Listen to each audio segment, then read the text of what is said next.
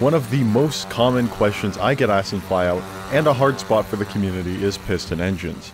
Flyout, you see, is a pretty high fidelity building game, and while sometimes realism is questionable, I can say that it has higher levels of complexity than any other building game about aircraft. With such fidelity and complexities and relative realism, it's expected that building some of the more complex systems might be a little bit challenging. So today, I'm going to show you guys how to master the piston engine. To test a piston engine, however, we'll need a donor plane, so I want you guys to get acquainted with my plane, the VP-100 Monsoon. This piston engine warbird is designed to simulate a World War II fighter aircraft with the same general weight and flight characteristics as aircraft such as the Bf-109 and Spitfire, you can find the video for this aircraft linked in the top right. But it needs a new engine. I've taken both the engine and the propeller out of this aircraft so we can build our own custom prop engine for the vehicle. You guys can either boot up Flyout and follow along with me, or you can just watch and use some of my custom engines. I've made custom designs for engines from general aviation to early airliners to the high-powered warbirds of World War II.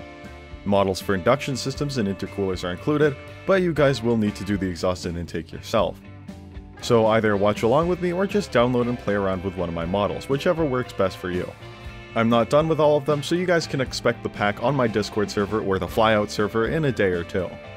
But to get on with the video, the first thing you must decide when it comes to piston engines is which fuel you are using. From jet fuel to pure ethanol and various aviation fuels, you've got some options. To make a piston engine aircraft, generally you're looking for fuels with a high auto ignition point, more on that later. Or I suppose you could just say a high resistance to pre-ignition. That narrows your search down to two of the fuels, Avgas 115 and isooctane.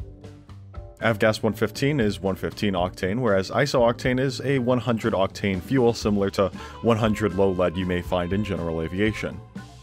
A higher octane means a higher resistance to pre-ignition, which is the same reason why higher performance engines run on 93 octane instead of the regular 87 octane you'd find at the pumps. Since this is a higher performance warplane engine, we'll be using the 115 octane fuel. Was I making a general aviation plane such as a Cessna or a similar build, I would likely use the iso-octane fuel as it has about the same properties as general aviation 100 octane low lead as mentioned earlier. To make an engine more powerful, you need more bang. Or you know, more combustion if you're a sane human being and don't want to sound weird. The more gas and air you can shove into a combustion chamber, the more power you'll get out of the resulting detonation, assuming the pistons can take it without detonating themselves. Moving on from there, you might notice quite a few different types of engines in Flyout. You have radials, inline, and V-type engines. A pretty common misconception is that these different types of engines provide significantly different power than one another, when realistically that's more dependent on bore, stroke, and overall displacement of the engine. The actual configuration mostly affects things such as cooling and balance of the engine, which, conveniently, balance is already pre-sorted for you in Flyout. All you really need to worry about is cooling. For example, single or dual row radial engines are prime candidates for air cooling. Their staggered piston configuration allows for air to travel between each cylinder. Air cooling allows the engine to be lighter, which is why many general aviation craft opt for air cooling as opposed to liquid cooling. Inline and V engines of higher performance, such as the one we are using, are better off for water cooling, which can be switched between along the highlighted area.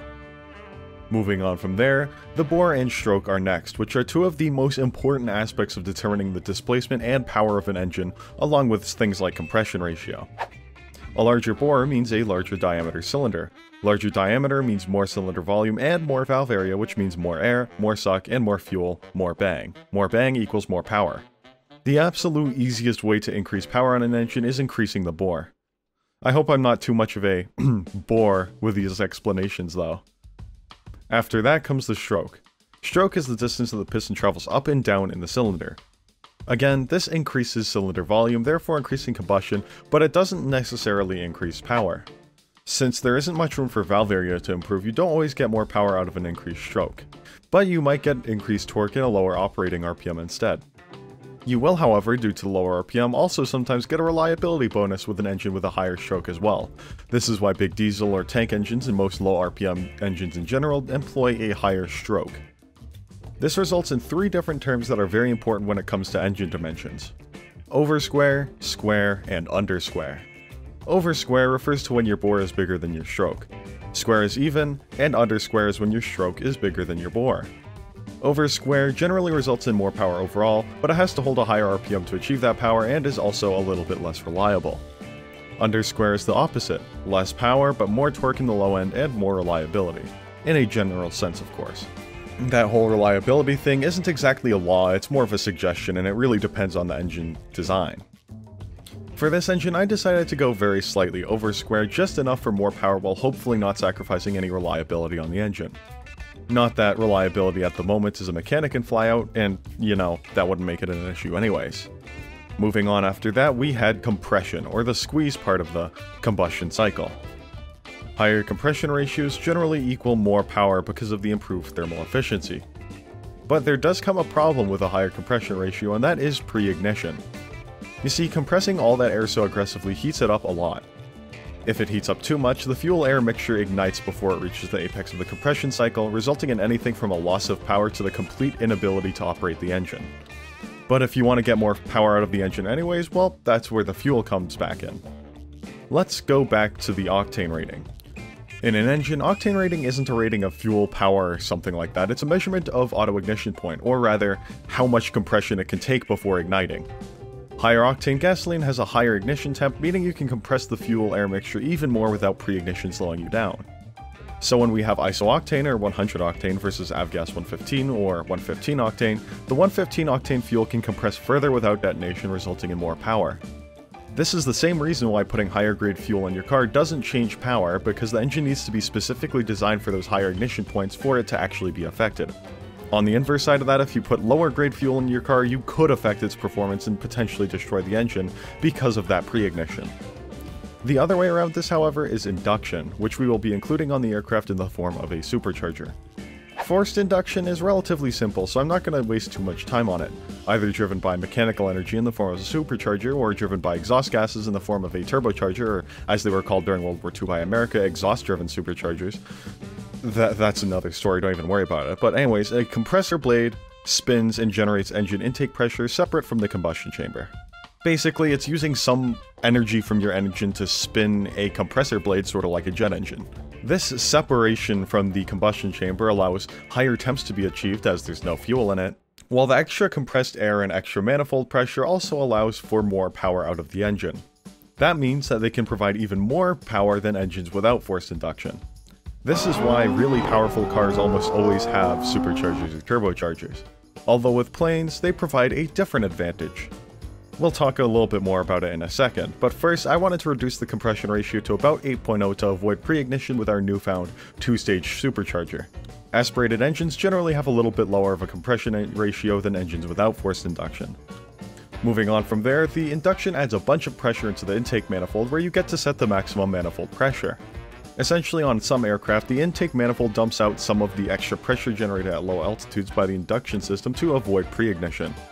As it climbs, due to pressure regulating itself, it slowly dumps less and less of that extra pressure. Basically, this balances out to mean that an engine will not lose power even at significantly higher altitudes. A regular engine, for example, without any induction at all, will lose power with altitude since the air is getting thinner. An aspirated aircraft with forced induction, on the other hand, will keep its power until that manifold pressure equalizes, which can be up to 25,000 feet or over 8 kilometers on some aircraft. This gives a fighter plane such as the Monsoon a significant advantage at altitude and also it's why so many World War II aircraft featured aspiration systems such as superchargers and those exhaust-driven ones on American planes.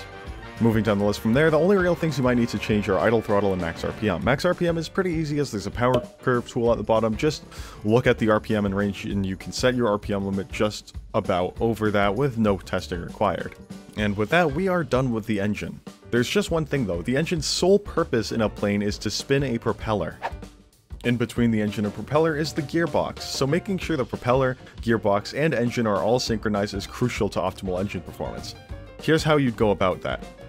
Let's start with linking the propeller and gearbox. Here we will be using an automatically adjusting constant speed propeller. Constant speed propellers are pretty awesome because if they are set up correctly, they will always sit at just the perfect RPM to generate maximum power out of the engine. I finally adjusted the size a little bit so that the prop would generate more lift and also a little bit more drag. And with that, my engine was set up and almost ready to go onto an airplane. The last thing was the prop twist.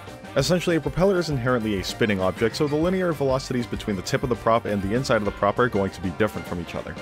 Since the air is approaching it at a certain velocity and a certain angle, one is going to be going a lot faster than the other and the incidence is going to be different. To solve this, propellers in real life as well as flyout twist themselves with a higher angle at the base to maintain that 5 degree incidence we were measuring earlier. To make this easy, there is a Desmos prop twist calculator online that we can use. And with that, we are done with the airplane. I'll see you guys for the engine test and explain to you how you can use the data from the test to improve your engine.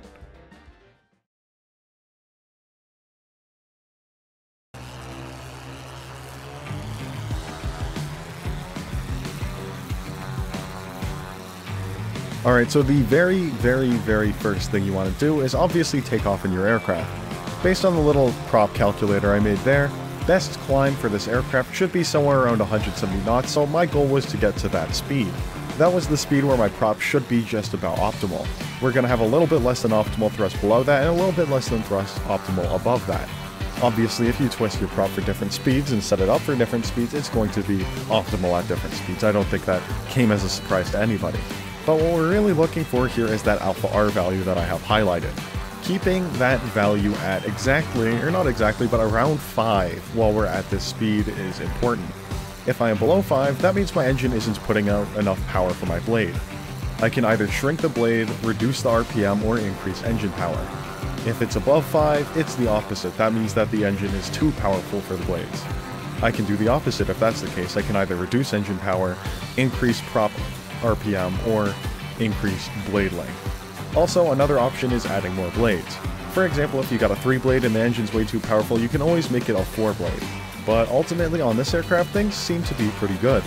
I had to change the weight and balance a little bit because I accidentally messed it up while making this an airframe, but it seemed that our rate of climb was around 28 meters per second, which was very quick for an aircraft of the World War II era. While it is on the higher side of climb rates, it isn't in the territory of impossibility, so I think that means that my engine is just about perfect for the time period. The aircraft also exhibited similar top speed, rate of climb, and speed at altitude values of other World War II aircraft of the time period. This made the Monsoon a perfect World War II or rather late World War II fighter, exactly what I intended with the engine. As mentioned before, if you guys aren't too satisfied with this video and you want to play around with some real working piston engines, I am currently developing a piston engine pack. It will not be done by the time this video comes out most likely, I'd expect it maybe a day or two later, but I mean if you're watching in the future, that isn't really a problem. I've got some work in progress screenshots that I've been showing you guys, and ultimately I really hope you guys enjoy. Thanks for watching, I'll see you guys later. Until the next one, and goodbye.